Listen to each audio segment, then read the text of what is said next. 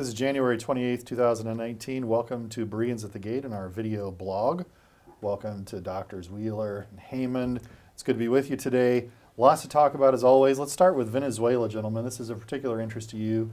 You're economists. I think what we're watching right now seems to be uh, sort of the impact of a long mm-hmm. series of bad economic decisions. Does that sound right, Jeff?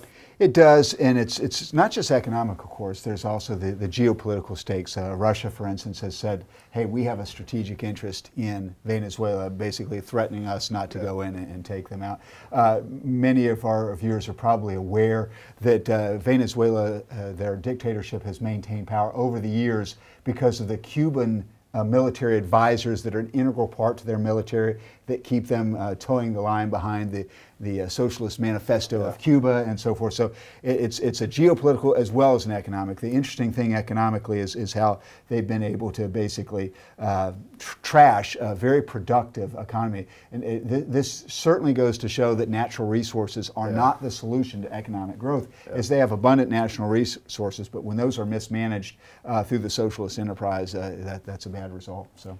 Yeah, Bert, what do we learn about socialism by looking at Venezuela, do you think? Well, uh, you know, it, it is hard, almost hard socialism, and, and you really have to go back uh, decades, even before Chavez.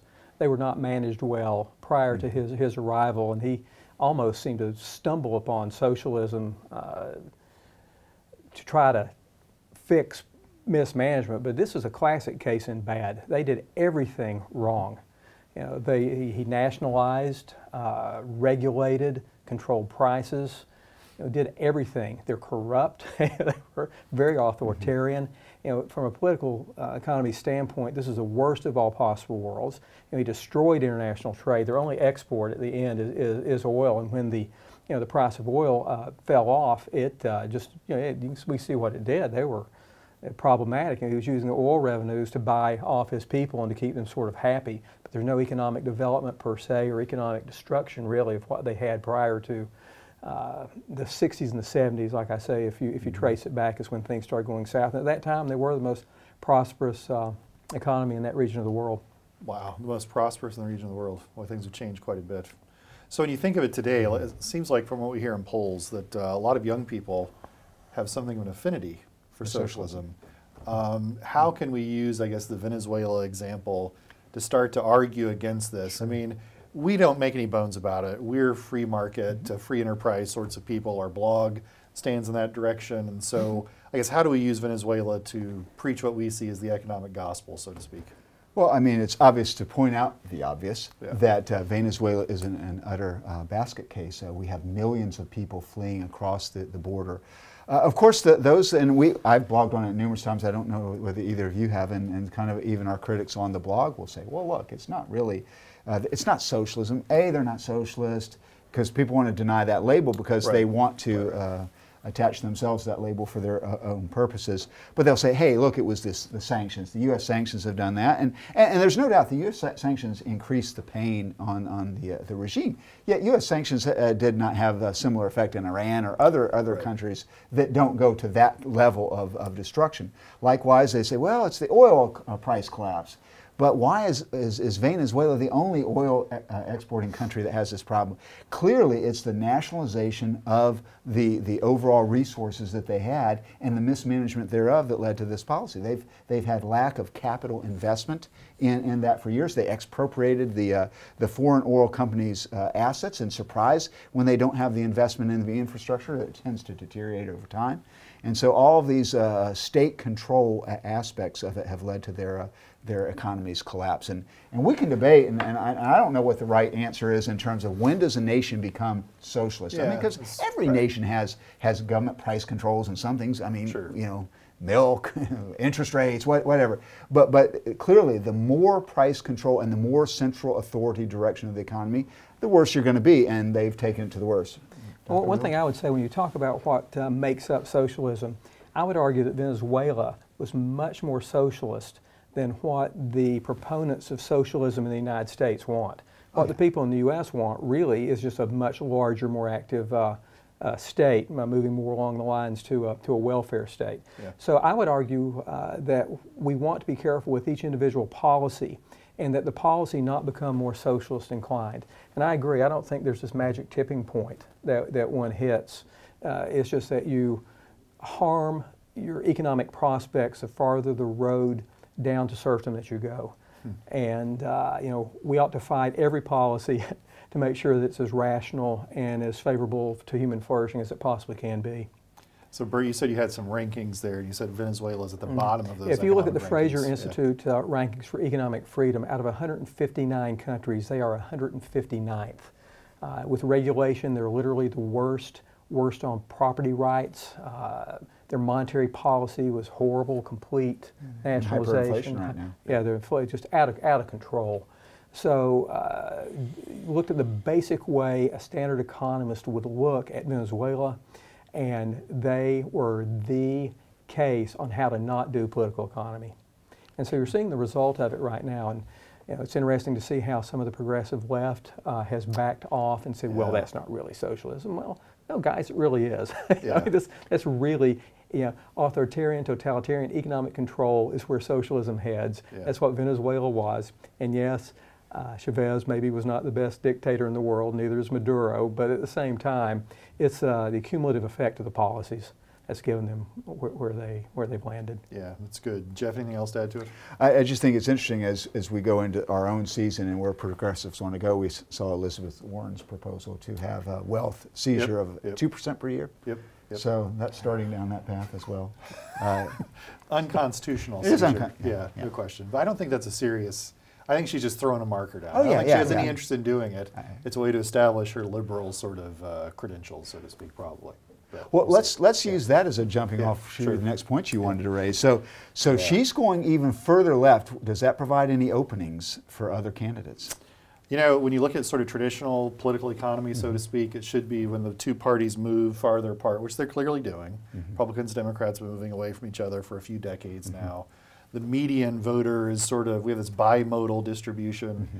There's not much in between. But when you look at the polling, there's not there aren't a lot of voters parked in the middle. It's not like there are millions and millions of dissatisfied voters just sitting there waiting for some great moderate candidate to jump into the race. Uh, as you, probably the viewers know, and you guys know, um, Howard Schultz is making noise that he's going to jump in as an independent. Uh, former CEO of Starbucks says that the you, I'm sure you were pleased to hear, mm-hmm. Jeff. He said the national debt yeah. is his major issue. Yeah. He thinks that it's an irresponsible, unconstitutional amount of debt, yeah, uh, which I think pleased. most of us would agree with at some level. But I don't think that it, there's a, a, great market out there for a guy like Howard Schultz. I saw one person comment, I think funnily, he said Schultz is a political consultant's dream. Doesn't really know political dynamics, has lots of money to spend. Consultants will get him lots of airtime, pay lots of advertising.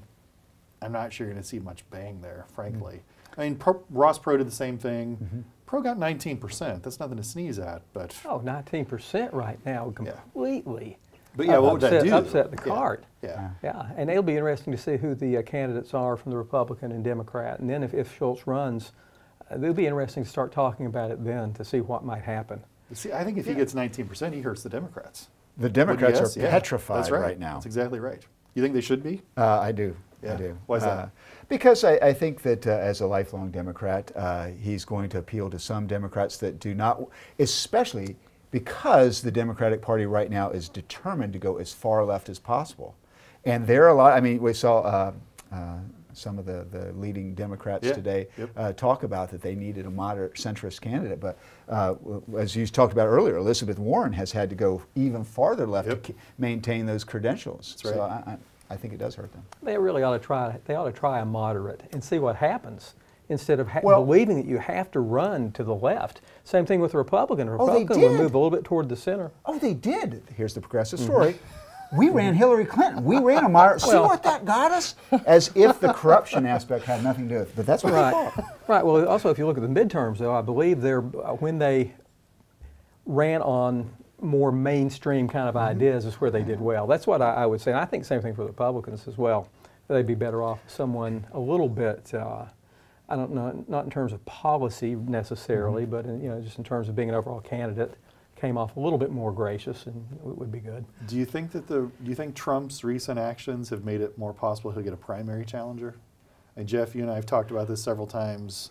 Is he op- is he cracking the door open right now for a primary challenger because of how badly this whole government shutdown went? I don't think yet for that alone. Right. I hope that there will still be one, but uh, I don't think that particular. But if he continues to have negative uh, kind of feedback, then I, I, think there is the possibility someone, and my, certainly my hope. I will say back to, you know, hey, Perot, that, that's one of the two candidates. While even then they tried to appear very distant, they were much closer than now. I, I agree I think there yep, is an opening in the middle. Uh, uh, because let me give you an example. So, so if, you, if they don't bother to poll me for some strange reason. But if they were to call me up and ask uh, what I think of, uh, of uh, Donald Trump's job performance, sure. I would probably, on the whole, on a policy perspective, give him um, generally favorable. Yeah. But that has in no way reflects the fact if I have a, a viable alternative, I'm going to vote against him. So I'm not sure the polls necessarily reflect what the reality is because because right now the polls, when you think about Donald Trump, the extreme the other thing is Kamala Harris or or right. Elizabeth Warren, right. and then I yeah, I kind of can see why I might go this one direction. But if there's a good centrist candidate, I mean, he not only say the national debt, he says we need to get our entitlement spending under control. Yeah, yeah. And, and all these Democrats proposing all these things, he says, I ask, how are they going to pay for it? So he's asking some very centrist things. I think there will be some attraction. Now, I would never vote for him because he's going to uh, undoubtedly be a, a, a pro-abortion pro, candidate. Pro so that's not happening for me. But right. I can see that there would be many people in the middle that could be attracted yeah. to that. Bert, what would attract you to a middle of the road candidate? Anything, anything enough to make you vote for them? Well, what I would like, and what I don't like about uh, our, our president is what I perceive uh, that I call his, uh, it's just being illiberal. You know, what I would like is an individual that reflects more free market economic policy you know, that personally, and again, I think that there are only six of us in the entire country that think like that, but I'm one of them. now, I want individual freedom. I want people treated with respect and dignity. Yeah. I don't want people globbed into groups and treated like they're, uh, you know, some species of horse with a particular color uh, mane.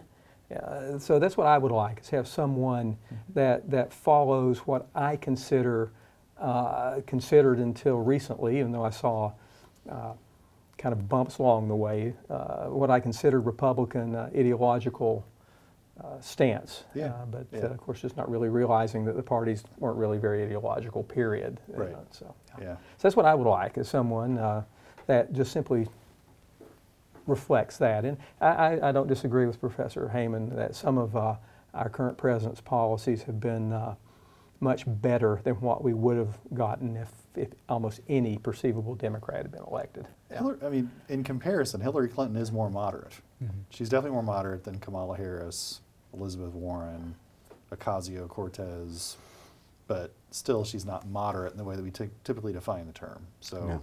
it'll be interesting to see what happens. Uh, real quickly on the government shutdown, mm-hmm. any takeaways we should take away from that? I think the takeaway, as always, if you're going to have these battles, you must win. Yep. And, and, yep. and if he doesn't, this shows his inability to make the, the proper political calculation. I agree. And so, yep. so Mr. Trump clearly lost. And, uh, and that might be a good thing. Uh, you know, I, I, would assert that many of us would say he could benefit with a little humility in how he conducts himself. Maybe this will give him that. Who knows?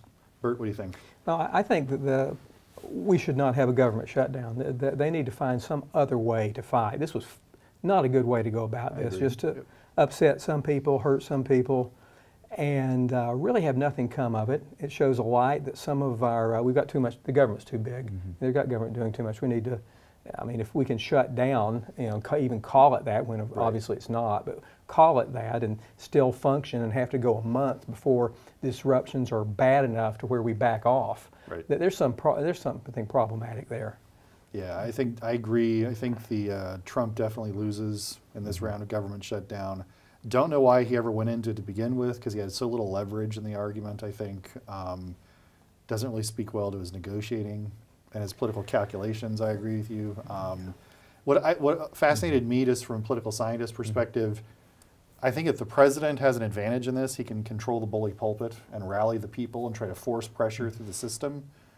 President Trump really did very little of that. He doesn't mm-hmm. seem to have that kind of uh, desire to go out there and rally people directly toward an immediate cause like this. Um, I think he failed on that front. I think a, a more able politician uh, who had a more conventional view of political power maybe could have mm-hmm. pulled it off. But uh, I'm not sure he's ever popular enough to do it. Mm-hmm. But at least he could have made a better effort of it.